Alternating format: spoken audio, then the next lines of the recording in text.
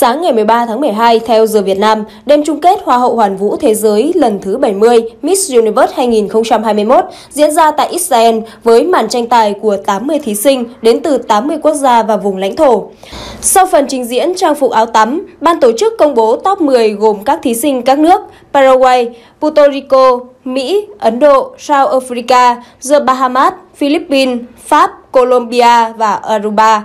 Sau đó, các thí sinh trình diễn trang phục dạ hội, chọn ra top 5 gồm các thí sinh đến từ Colombia, Ấn Độ, Paraguay, Philippines và South Africa.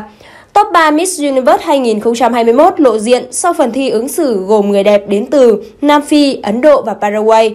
Kết quả chung cuộc, người đẹp Hana Chandu đến từ Ấn Độ đoạt vương miện Hoa hậu. Chiến thắng của Hoa hậu Hoàn vũ Ấn Độ được đánh giá là hoàn toàn xứng đáng bởi cô đã là thí sinh nổi bật tại cuộc thi ngay từ đầu cuộc thi. Người đẹp đang học lấy bằng thạc sĩ Hanaka Sandhu và đăng qua ngôi vị Hoa hậu Hoàn vũ Ấn Độ năm 2021 vào tháng 10 vừa rồi. Hana Sandhu, 21 tuổi, cao 1m74, từng tham gia nhiều cuộc thi nhan sắc trước đây. Tân Hoa hậu Hoàn vũ đang là người mẫu, diễn viên tại quê nhà. Trang phục dân tộc đẹp nhất thuộc về Opala, Hoa hậu Hoàn vũ Nigeria, với bộ đồ lấy cảm hứng từ các bộ lạc thổ dân nước cô. Nguyễn Huỳnh Kim Duyên, Á hậu 1 Hoa hậu Hoàn vũ Việt Nam năm 2019, đại diện Việt Nam tham gia Miss Miss Universe năm nay. Qua các vòng thi, hoạt động bên lề, Á hậu Kim Duyên gây ấn tượng bằng thân hình cân đối, săn chắc số đo 3 vòng 83, 62 và 89. Cô cao 1m73, nằm trong top những thí sinh có chiều cao nhất trong cuộc thi năm nay.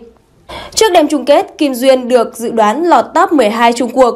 Tại đêm chung kết, Kim Duyên được gọi tên trong top 16 Miss Universe 2021.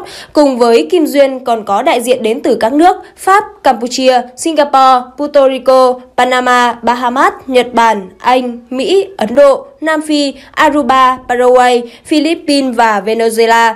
Sau phần trình diễn trang phục áo tắm, ban tổ chức công bố top 10, tuy nhiên Kim Duyên không có mặt trong top này. Như vậy, cô chính thức dừng chân ở top 16.